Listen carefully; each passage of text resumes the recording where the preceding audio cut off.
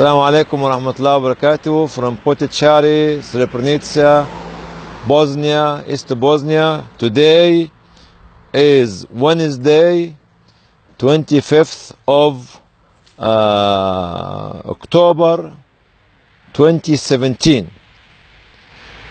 If we remember Bosnia, the Bosnia War, which started 1992 to 1995, why I came here to Srebrenica, especially to see what happened to innocent people who have been brought up to these concentration camps, whether they are men or women. More than 12,000 people were put in these buildings, and this in front of us, this building was the headquarters of the Dutch UN battalion, or the uh, UN battalion which was there in this area. The war, Bosnia War unfortunately claimed the life of more than 300,000 people from both sides, from Muslim, from Serb, from Croat, and from everybody. And this is the price of any war. Nobody can win. Nobody will be able to win a clean war, if they, even if they come victorious. But today we are in Srebrenica and Potočari to see the people, the innocent people who came running away from the evil power of the machine of war. They came from Žepa, from uh, Bratunac, from uh, came here to Srebrenica to be protected in the safe haven of the headquarters of the United Nations, the Dutch battalion. Women were raped in this area, and people, men were taken in hundreds and tens of people walking to the other side, when you can see it there, to be shot dead. While we are here, we hate war, we hate destruction, we hate killing of people, especially innocent people, and we have to fight hard to make peace, to stay, stabilize peace, and make it sustainable sustainable for the people of Bosnia, sustainable for the people of Yemen, sustainable for the people of Syria, sustainable for the people of Iraq, sustainable for the people of Libya, sustainable for the people of uh, Myanmar and Rohingya, sustainable for any people, for South Sudan, as well and for everybody. Because what we see here, what we see here in this area, which is the one of the ugliest concentration camp after the Holocaust. This is the, this is the Bosnia Holocaust. This is the Bosnia Holocaust after what the Nazis done to the Jewish people in Germany and in different places. Shouldn't let it happen again. All this area become a witness on the terrorist activity of systematic rape of women daily.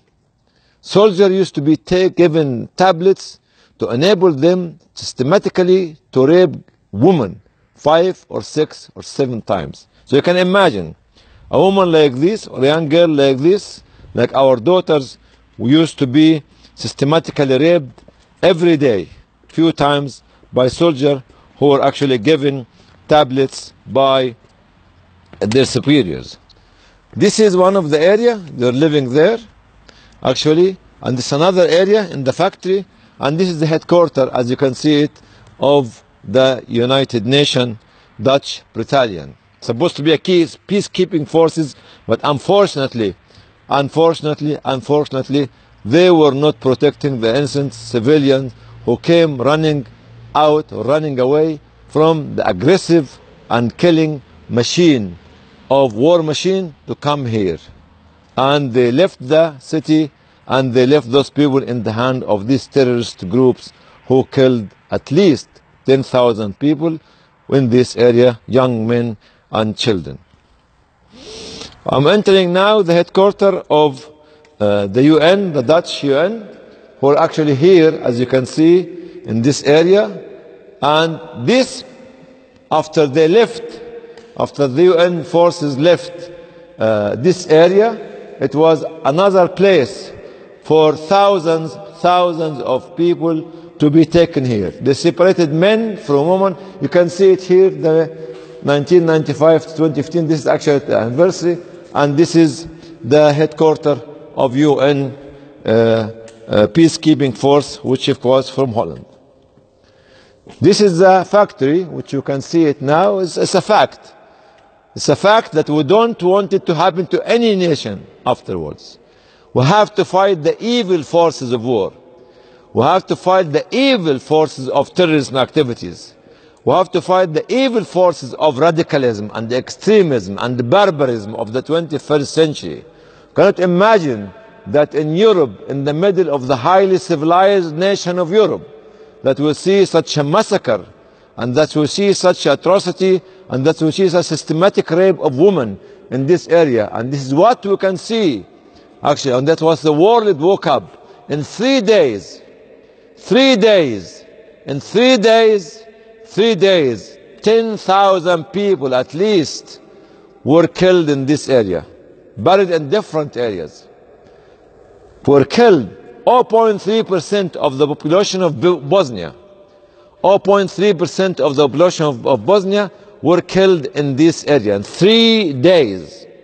What an evil power of terrorism and extremism and radicalism by the people who did this and they think that they can get away with it, but humanity came and uh, uh, uh, and, dis the, and disrespect what they have done. Humanity refused what they have done.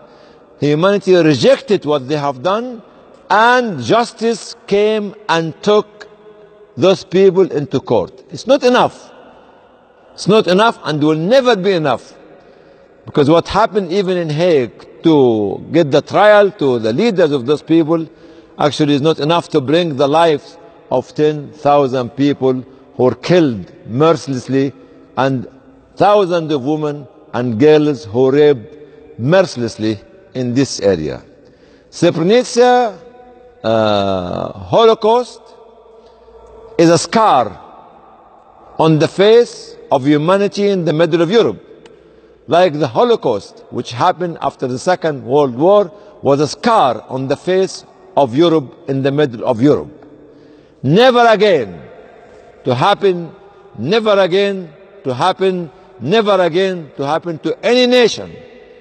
We all should stand up, fight the evil, the evil machine of war, the evil machine of extremism, the evil machine of terrorism, the evil machine of radicalism, no matter where it's happening, why it's happening, by whom it's happening, should be united to stand up for peace, to stand up for safety, to stand up for giving the hope to the generations to come, and to teach our children, teach them not to let it happen again to anyone, whether we disagree with them or disagree with them. Never again to happen.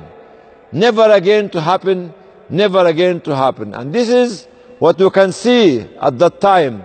Some of the images here on this wall. Children, women crying for their sons and for their husbands and for their fathers and for their nephews and for their neighbors and for their friends. Never, never, never let it happen again. Never, never, never let it happen again. Can see the images here. Here the remaining of the bodies of the shoes of the people. And this is the photographs of those three young men who were actually taken and were killed or slaughtered in a cold blood. Mothers cannot, cannot forget.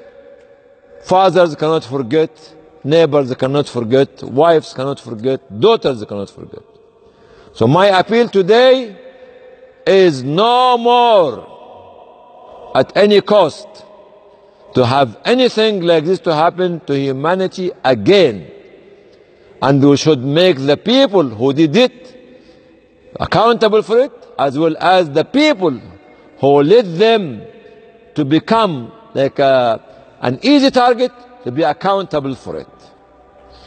Peace is what we want. Peace is what we want.